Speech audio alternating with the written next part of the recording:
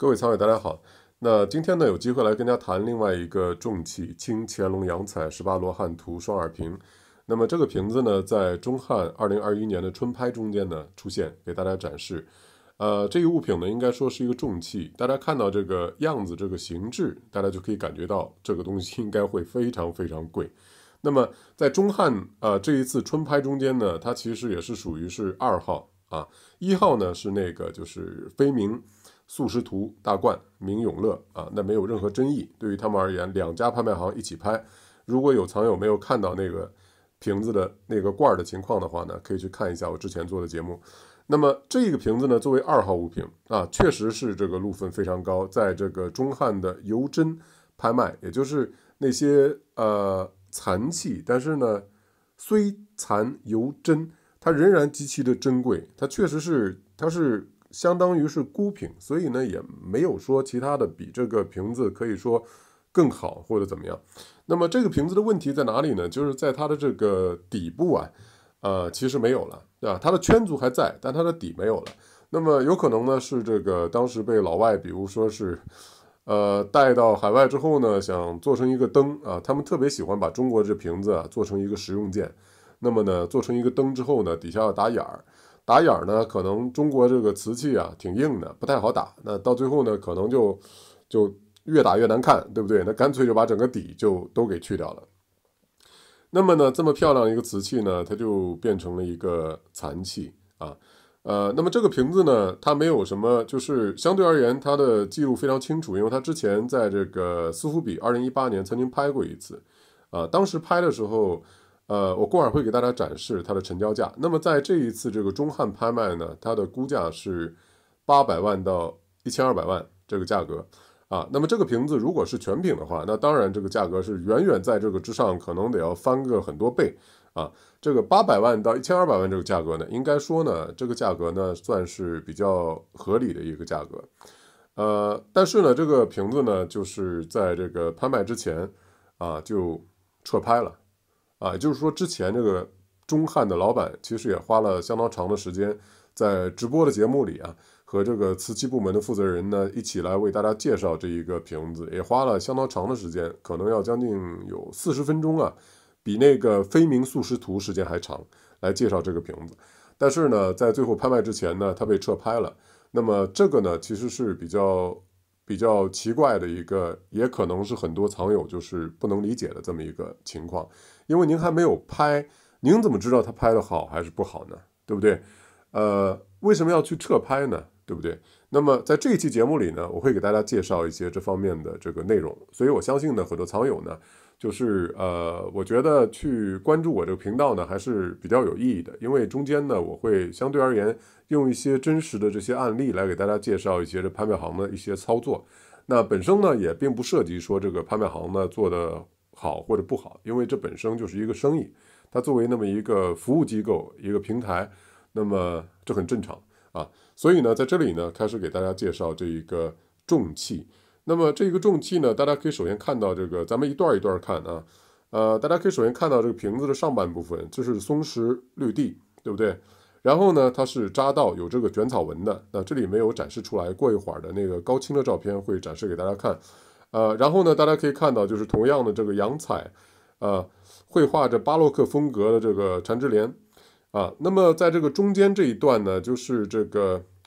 呃，樊红釉呢这一段呢，里面呢画了这个五彩祥云和这个蝙蝠，啊，那么在这个莲花，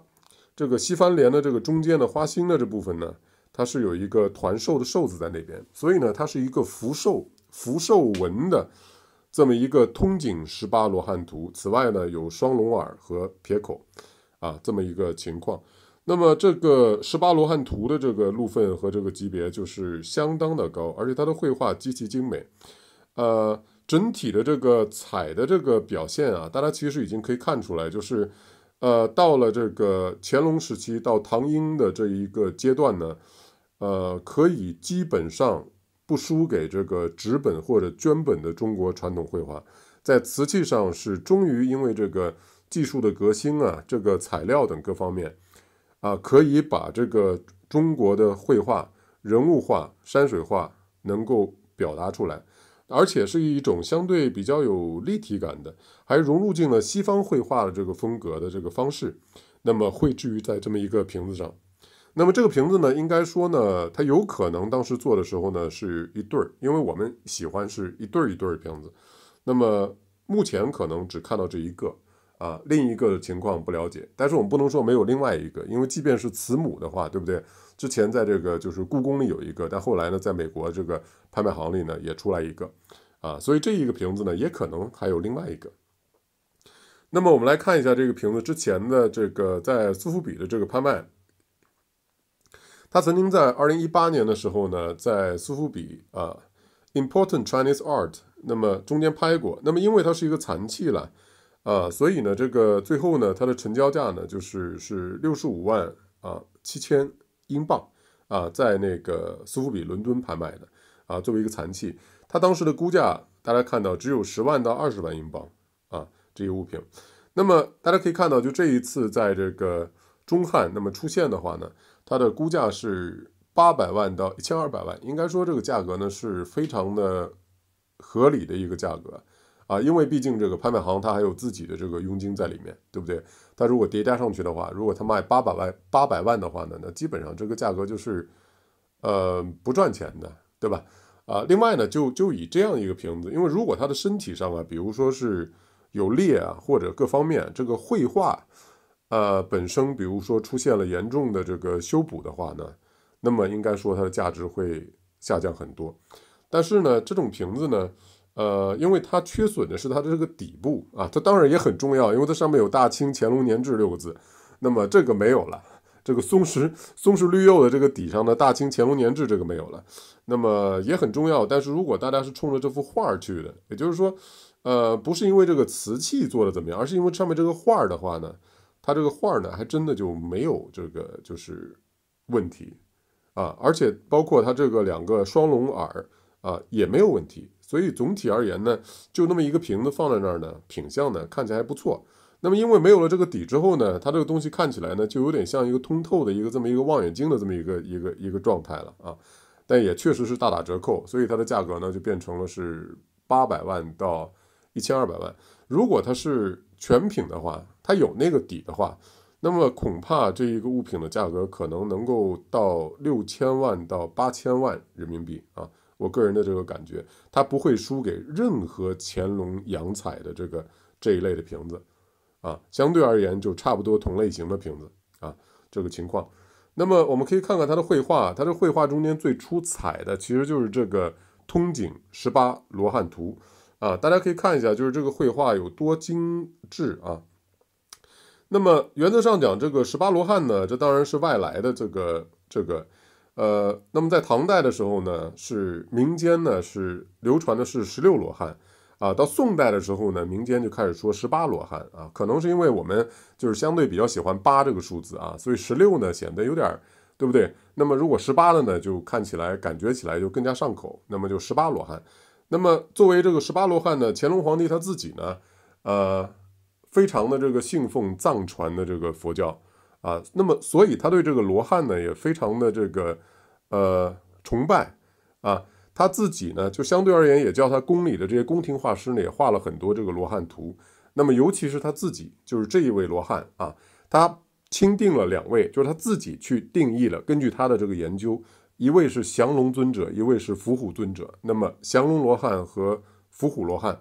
呃，凑成十八位罗汉。那么这一会呢，就是这个伏虎尊者。那么大家可以看到这个绘画这个感觉。那么像这种呢，就是因为这个是，呃，相对而言不是汉人的这个，因为这个佛教是外来进来的。那么呢，但是随着时间了之后呢，也都本土化了，也就是原来的这个就是。呃，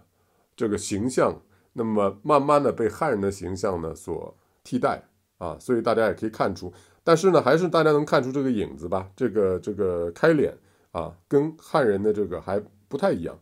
那么这个老虎呢，也画的是非常的有意思，因为呃，大家经常看到，比如说在康熙的这个碗、康熙的瓶子啊等各种，凡是看到有这个老虎形象的呢，看着它其实都像一个猫。啊，他是不是照着这个猫把它画了大了一点，然后画成了这个老虎的样子，挺有意思，挺有挺好玩的一件事情。那么大家可以看到，就是这个这个山石的画法等等啊，它其实是有一定的立体的这种这种这种表现啊在里面。那么整体呢是一个非常精致的这么一个绘画。那么我们可以再接着看啊，大家可以看到其他这个尊者，那么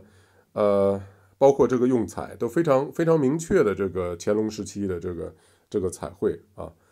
呃。那么包括其他的啊，整个十八个罗汉的这个这个人物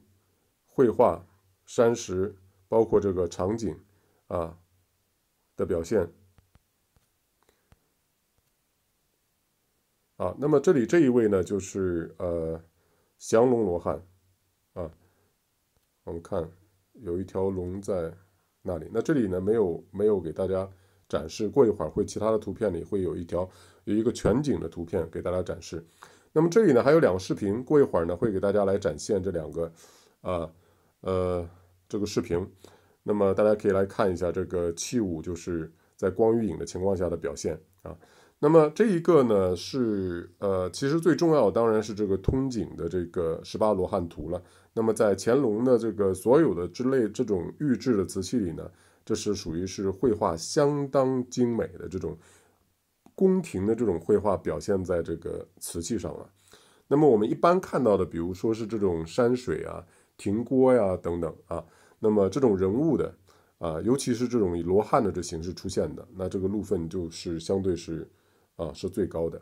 情况。那么我们可以看到，就是其他相类似的这这类的这个瓶子呢，比如说啊中汉呃查了相当多的资料，比如说这是。台北故宫、台北故宫博物院的这个清宫旧藏，那么阳彩开光十八罗汉图胆瓶，啊，大家可以看到这一类的这个类似这个题材的这个物品，啊，这绘画也确实是非常漂亮。这个阳彩啊，表现出像这种珐琅彩的这种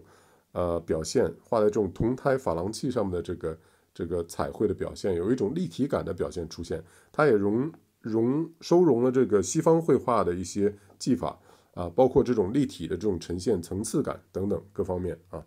那么我们可以看到，相类似的一个瓶子呢，啊，在这里看到的是美国大都会艺术博物馆啊。那么这个瓶子是不是跟这个呃这一次中汉就是要拍卖的这个瓶子非常相似呢？大家看它的这个名字啊，如果全名的话叫清乾隆松石绿地压道阳彩福寿纹通景山水亭郭图。矾红描金双龙耳如意撇口瓶，这个这个名字确实够长，我不知道如果翻译成英文的话，他们怎么翻译这个，或者干脆就是一个 Family Rose 的 Imperial 的一个 vase，然后就完了啊。那么这个呢，其实也是一样的啊。大家可以看到，比如说这个啊，这个缠枝莲，那么这个这个西番莲的中间有那么一个团兽纹，对不对？大家看得很清楚了。包括上面的这一段，就是这个蝙蝠和五彩祥云。啊，在这个番红釉上面，两边呢是这个呃两个双龙耳啊，包括这个整体的这个颈部和下面的这个颈部的这个呃表现。那么中间这个通景的这绘画呢，明显就是这个两个瓶子呢是同样形制的，应该可能也是差不多呃时期烧造的。那么当时烧的时候呢，可能就是不同的类型的绘画呢做了不同的。这个瓶子应该都是成对出现啊。那么可以，大家可以看到，在这里，比如说这里是香港苏富比曾经拍过。那么，呃，这样一个瓶子，清乾隆粉红地亚道阳彩福寿纹通景山水亭郭图矾红描金双龙耳如意撇口瓶一对啊，它这里是一对。那么这个一对呢？大家可以看到，它形制是一样的。二零一零年，当时拍了是九千九百二十二万港币啊，但是是一对，呃，那么这是十年以前，那么也就是估算十年以前的话，这一个的话呢，就是相对而言也要五千万港币了啊。当然，一对的这个价值要远高于这个一个啊，呃，因为它更加稀有嘛，对不对？但是大家也可以看到，就这个绘画的话呢，其实是不如这个钟汉要拍的这一个十八罗汉图的。啊，这个人物的这个路分呢，明显要高于这个山水亭郭的这个绘画啊。那么大家可以看，咱看到在这里呢，就是有一个全景的一个图呃，因为这个图呢是很长啊，所以我手机的话呢只能是这样展示了。那么非常不好意思，那各位藏友呢，如果大家都是用手机来看的话呢，我估计呢应该还是比较方便的啊。如果是在电脑上看呢，那只能麻烦就是这脑袋旋转 九十度了，不好意思。呃，因为这个画呢实在太长。那么大家可以看到，就是这里呢，就是大家更加精细的可以看到中间这个绘画啊，因为它把它给摊平了嘛，对吧？那么大家可以看到，就是这个阳彩这个表现啊，这个绘画呀，啊确实是这个因为这个材料啊一下子这个爆炸，那么使得我们可以把这个就是宫廷的人物画呀，就表现在这个瓷器上了。那么大家可以看到这个降龙罗汉啊，包括前面的伏虎罗汉啊，这个他们的表现，大家可以看到他的眼神啊，整个这个状态。呃，其实这个尊者呀，大家可以看到，其实他的这个五官啊、轮廓各方面不太像汉人，对不对？啊，包括我，我当时在就是在德国很早时期读书的时候，啊，大学里呢，就是也有这个就是包括印度、巴基斯坦的这个就是同学嘛。那么，呃，我记得当时有一位同学，我就是我我看到他，就是因为他很早就就就脱发了啊，那么头上没有头发。那么有一次呢，就是他离我远远的走过来的时候呢，这个光啊正好照在他的这个脑门上。当时我那一刹那间，我一种感觉就是，哎，就是出现了一个这个，可能是我眼镜没擦干净啊，就突然出现了一个一个光圈就在那个头头上这一块儿。我当时觉得，哦，这会不会是那种就是寿星啊，或者说是这个罗汉的这个这种感觉，是不是从这儿来的？我后来我还跟我这个就是朋友，我还跟说过一次啊啊，他他他他觉得我这个说法很很有意思啊。那么嗯，但是呢，大家从这个开脸啊，就各方面啊，应该还是可以，就是大概感觉出来，就是呃，虽然说已经汉化了，就是这个汉人的这个形象已经融入了这个十八罗汉里面了，但是我相信他原来的这个啊这个情况，那么可能是有能还是能看出一些线索在这个里面。啊，那么大家可以看到，就是其他的这些这个罗汉啊的神态，啊，这个神态、动作，啊，包括这个，包括这个旁边的树、山石啊等各方面的这个绘画，啊，所以说这个瓷器其实上其实上讲是大家是去看的是一幅画，对不对？呃，并不是说自己这个瓷器，这个瓷器做成这个样子，主要是上面这一幅画啊。那么这也确实是乾隆皇帝呢他自己特别喜欢那么这一类的题材啊，所以说呢做了这么一个瓶子，可想这个路分有多高。可惜呢它那个底啊就没有了啊。那么呃，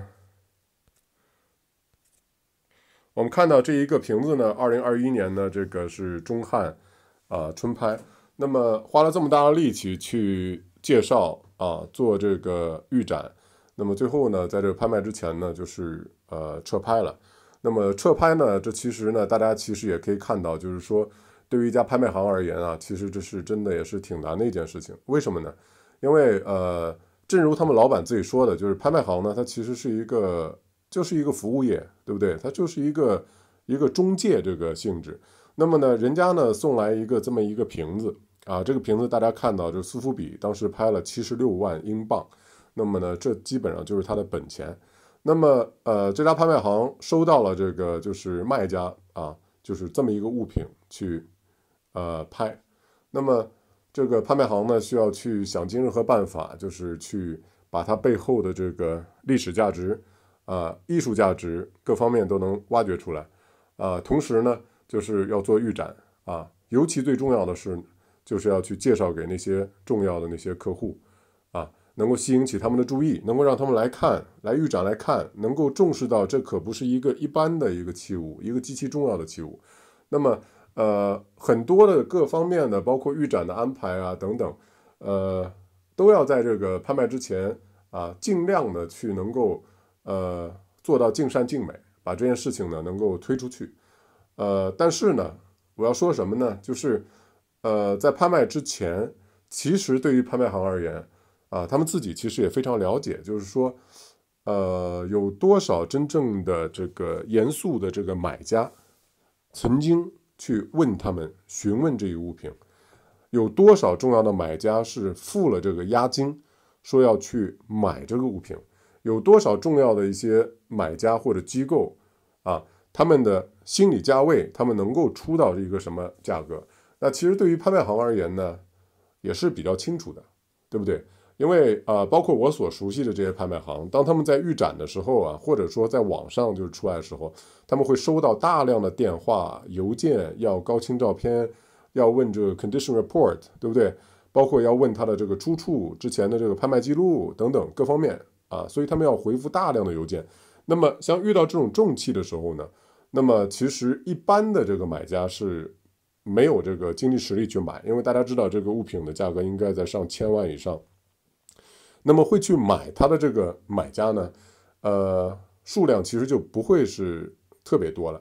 那么对于这个拍卖行而言呢，他用尽他的全力去能够把这个物品能够推向市场，推到那些重要的客户手里。呃，在这个拍卖的时候呢，并不是说就是我们就碰运气，然后呢，这个物品呢是怎么样就怎么样。对于一般的物品呢没有关系，但是呢，像对于这样的重器而言呢。呃，我相信对于这个卖家而言，就是把这个瓶子放给拍卖行卖的这个卖家而言呢，他还是比较在意这件事情的。就是如果一个瓶子，呃，出现流拍的情况的话呢，作为这么一个拍卖记录，在这个器物上的话呢，那么可能呢，就对这个器物呢，可能就不是特别的理想，对不对？呃，所以我的个人理解呢，就是。呃，对于中汉而言呢，撤拍呢是两种可能。第一种可能呢，呃，是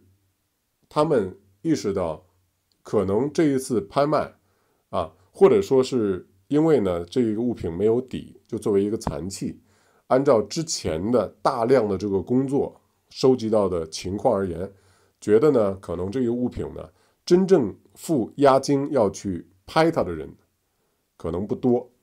啊。或者呢，就是至少没有达到他们的理想状态，那么呢，他们在最终拍卖之前，这一个物品呢撤拍了，啊，我觉得这是一种可能性。那么第二种可能性是什么呢？第二种可能性就是，呃，如果有重要的这个买家跟这个拍卖行说，呃，这个瓶子我要了，我出一个价。你拍卖行去和这个卖家联系，只要这个卖家同意接受我报的这个价，那么我们就私下完成交易了，这个物品呢就不必拍了，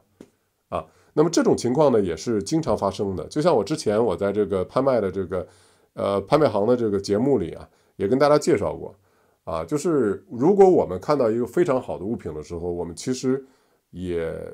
想避免，就是说在拍卖的时候，因为各种不确定性啊，最终使得这个物品的价格呢就变得非常高。那么这个时候呢，呃，还不如干脆直接联系的拍卖行，就表示这个物品呢，我想提前给它结下来。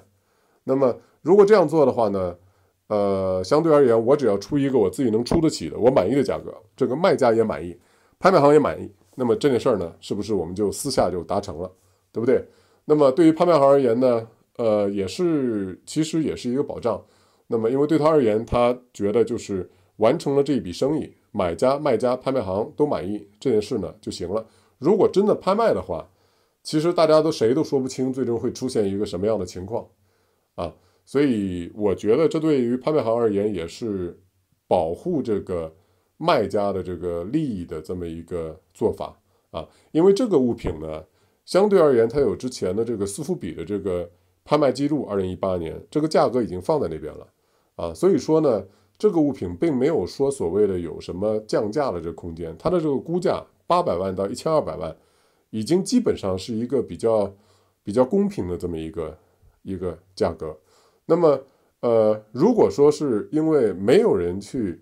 呃付押金要去卖这个东西的话呢，那么拍卖行可能第一时间已经知道了，所以他撤拍，或者呢，干脆就是已经有。重要的买家私下里接洽，然后把它拿下来了。那么这样的话呢，这个瓶子呢就等于是线下卖掉了。那么可能有很多就是想买这个瓶子的朋友，啊，一些重要买家，他们之前呢没有就是呃没有表现出来啊。那么准备着拍卖的时候呢，再去买。那么像这种情况呢，我相信拍卖行也会去提前会去联系这些这些买家啊，综合的就是达成一个大家都满意的这么一个共识。因为毕竟像这样的这个重器呢，呃，不太可能说是去碰运气啊。整个拍卖的这个过程一般是在一个比较有把握的、保护各方利益的情况下去达成，因为毕竟这个都是私人财产，达到上千万的这个级别啊。那么这大概是这样一个情况。所以呢，大家可以看到，就是这个瓶子出现在了，呃，中汉的尤真的这个拍卖的这个封面，作为如此重要的一个拍品，但是呢，呃，它在拍卖之前呢就被撤拍了。那么在这一次中汉的这个春拍中呢，大家可以看到，一号呢是这个飞明明永乐的青花飞明，呃，素食图大罐。那么其实二号呢就是就是这一个清乾隆十八罗汉图，啊。那么一个洋彩的瓶子，呃，当然它还有其他的一些的这个物品。